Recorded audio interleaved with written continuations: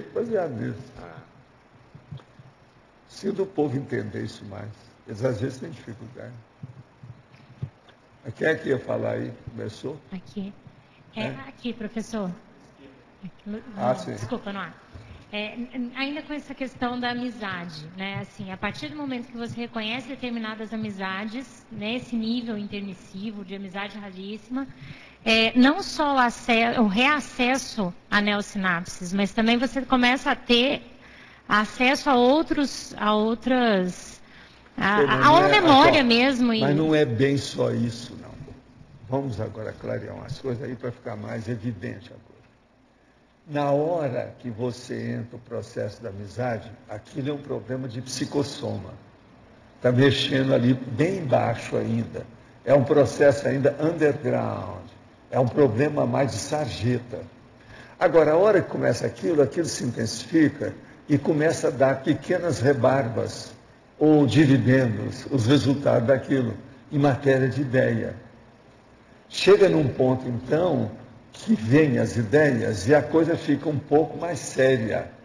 Já sai do processo da emoção para um processo de discernimento, de da pessoa, por exemplo, já destacar as ideias, priorizar o essencial, ver o fundo daquilo que interessa, o cerne da ideia. Você está entendendo? Nessa hora, então, o que, que acontece? Aquele que é mais forte já começa a ajudar na terapia do mais fraco. Então, aí esclarece a cabeça, há uma expansão do processo consciencial, a cosmovisão começa a, a somar. Você está entendendo?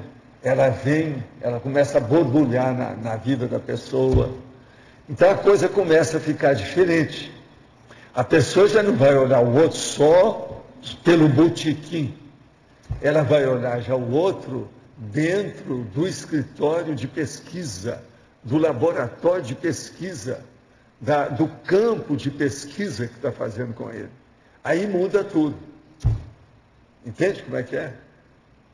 Então, nessa condição, as, nesse nível, a hora que atinge esse nível, há muita vantagem e muito resultado positivo para ambos. Agora, dependendo do assunto, um assunto às vezes ajuda mais a A, mas o outro assunto vai ajudar mais o B. O A já domina o, o, esse assunto, então ele vai ajudar o B. Você está entendendo? Então, nós temos que ver essa troca, essa permuta de essência, de valores, de potenciais que existem nesses assuntos. Agora, outra coisa séria. Nós estamos falando aqui baseado em processos é, do curso intermissivo e as paranelsinapses. Vai chegar um ponto, então, que isso vai abarcar o problema daquela pessoa que está na, entre duas pessoas, tem um que está mais fraco.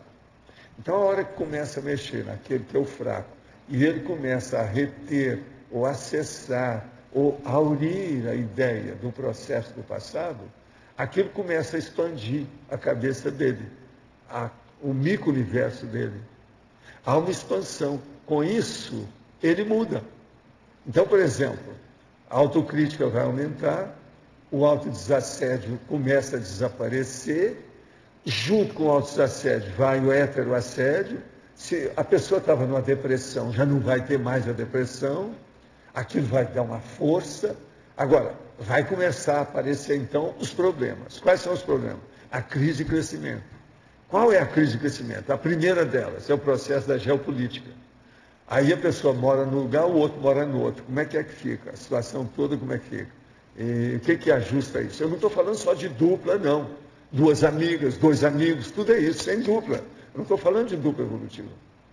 Estou falando do processo de entendimento da amizade dentro da convivialidade, a conviviologia. Vocês entenderem isso? Então chega um ponto que aquela pessoa saiu do buraco. Ela então quer ficar perto do outro que tem mais força do que ela. Essa é uma tendência. Então, a parageografia tem que entrar nisso aí. E a geopolítica da pessoa. Como é que fica? Vocês entenderam a lógica desse, de tudo que eu estou falando aqui? O quadro é muito lógico, muito racional. É só ponderar. Agora veja, eu vejo isso na minha vida há mais de 60 anos. Um monte de casos desse sentido. Mas esse processo que você está falando é que vai constituir no coletivo uma cognópolis, aí entra o atrator ressomático, entra todo esse processo, né? Eu lembro de uma pessoa que eu gostava muito dele. De vez em quando eu estou vendo que agora está aparecendo aqui. É o Aldo Gaspareto. É o pai do Gaspareto. É o marido da Zília. Esse cara, ele me viu a primeira vez no movimento espírita, deu uma taxa. Você sabe o que é a taxa? É, fez um imprinting. É igual imprinting do Papa. Mesma coisa comigo. Então ele ia, por exemplo, e passava assim um dia igual hoje, que era sábado lá na comunhão, e na hora que nós tínhamos que andar, que tinha uma peregrinação para fazer estudo, leitura de evangelho, assistência aos outros, aquele negócio todo, ele andava comigo para conversar o tempo todo. Ele passava a noite conversando. Agora, veja, ele era fora de série, o Aldo. Agora, eu sentia que tinha uma coisa que não ia continuar aquilo. Ele morreu, moço ainda. Você está entendendo como é que é? Agora, ele era um exemplo disso. Agora, eu estou vendo que de vez em quando eu estou vendo ele aqui. Se eu encontrasse com o Gasparito ou a Zília, eu ia falar para eles, oh, eu estou vendo. E ele anda preocupado lá com os dois. Porque os dois lá cresceram muito, mas agora se espremendo o que eles estão fazendo, podia ser coisa melhor. O Aldo já viu isso fora do corpo. O Aldo tinha uma cabeça muito grande de administração, de opção de coisa. Fora de sério, homem. Agora, você veja, eu conheci bem ele. É, quando o, o Gaspareto, o filho, era pequenininho, tudo. Eu vi isso tudo crescer, o irmão e tal, todo mundo. Você falou. Eu então, eu estou dando só um exemplo aqui da situação. Você Entendeu? falou, eu senti um banho aqui de, na hora que pois você é. falou dele. O Alto está muito bem. Ele está fazendo curso intermissivo agora, ah, ele é. falou. É. Eu já ouvi aqui umas três ou quatro vezes aqui, as nossas coisas. Então hoje, a hora que eu cheguei, eu vi que ele estava por aqui. Então, ele é dos caras que vem aqui, da, sabe? Da interlúdia. É. Ele entra no meio desse povo. Agora, eu quero ver se aqueles que eram conhecidos da gente, tinha uns médicos de São Paulo, gente muito boa, sabe como é que é? Inclusive tinha aquele o Vale, eu não sei se você lembra do doutor Vale, aquele médico de São Paulo, espírita. Vale. O nome dele era Vale. Escreveu livro, é, defendeu uma opção de coisa. Esse também era muito bom. O, o pai do Gaspareto, você lembra dele? O Aldo Gaspareto? Esse você lembra, né? Ela lembra. Esse aí é da época dela